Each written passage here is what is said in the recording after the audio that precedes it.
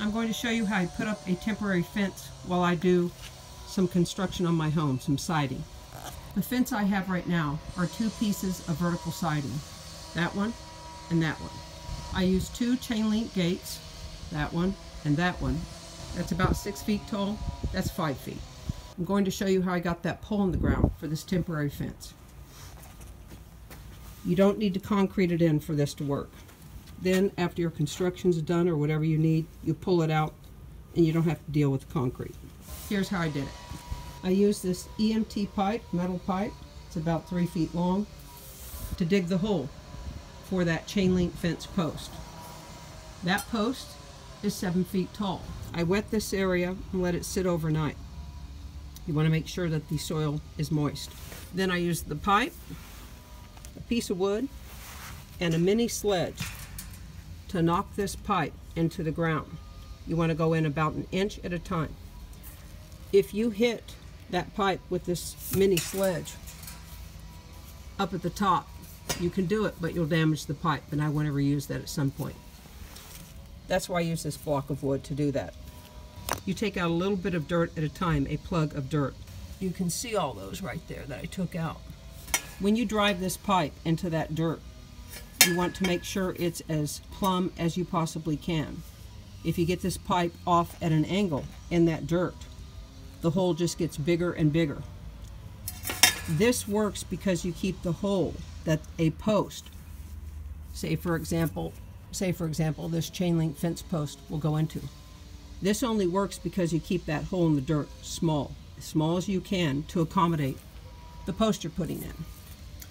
So first I use this pipe. After I had the hole at 16 inches, I used the chain link fence post and drove it in to clean off the edges of the dirt and widen the hole just a little bit. Made it easier. When you have the dirt plug at the bottom of this post, I used a piece of this concrete to knock the pipe on and then the dirt plugs would fall out. This chain link post is driven in about 16 inches.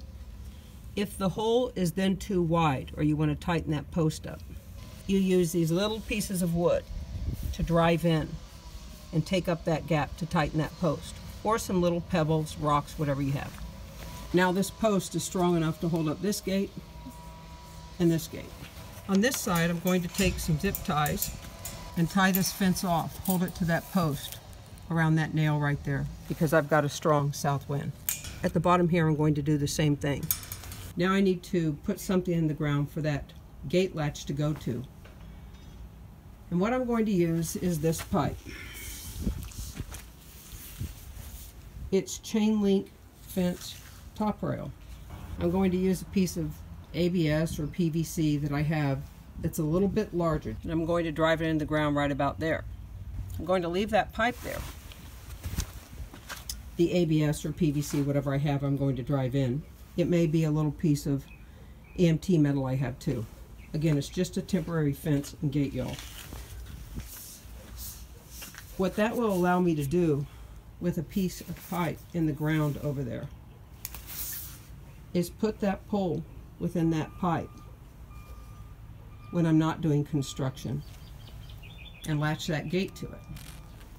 When I'm doing construction, I can take the pole out and it's not in my way. This EMT pipe is ideal for making the hole in the ground because the walls of the pipe are thin. If you use ABS or PVC, that'll work too, but you have to chamfer or bevel the edges here so they're sharper because the walls of the ABS and PVC are thicker.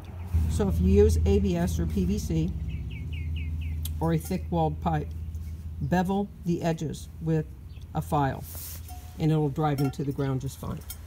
So what I'm doing right now is wetting the soil to drive in the pipe. That will hold that pipe. I use this cottage cheese container because I can't get water over here. Poked holes in the bottom of it with an ice pick. I have a little bucket of water that I pour into this cottage cheese container and it slowly drips out and it will moisten the soil for me. If you do this by a house, like I'm doing here, you have to be aware that you have a footing, concrete, that you have to avoid and not hit that pipe.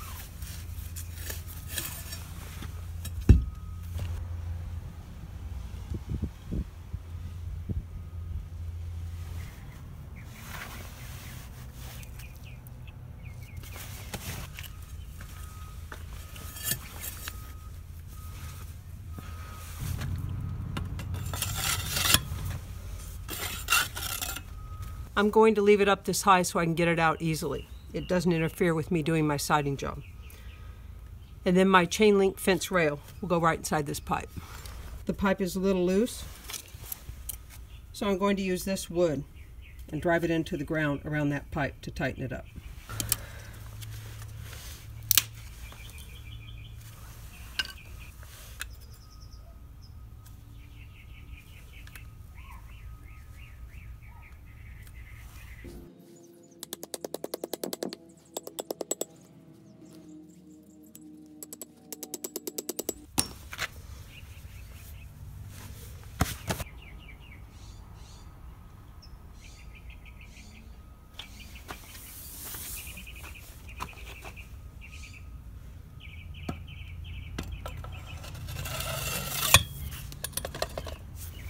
Tied it off with zip ties, bottom,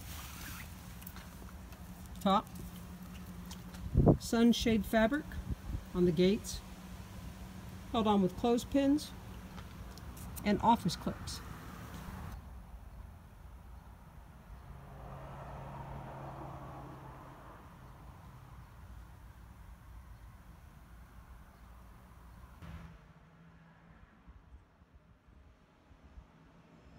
That's how I make a temporary fence. Hope it helps, and happy DIY.